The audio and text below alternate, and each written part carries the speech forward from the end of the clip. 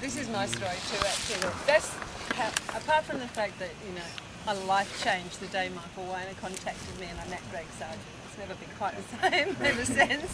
That was my beginning of association with the Wilderness Society and my obsession with the environment and campaigning. But um, a couple of th- things that Greg did for me was a like just I used to say he, watching him work, his strategy was pretty to watch, and um, you know if I could aspire to even you know be 20% as smart as he was about that stuff, I'd be extremely happy. And the other thing was that because I was lucky enough, an amazing and was running, and then the outcome, it's made you know I started off that anything is possible, and that was a really positive way to get involved. But the Lamington story is the one I remember most. The absolute plea that Greg had that there were school kids in Sydney baking lamingtons to buy starter back.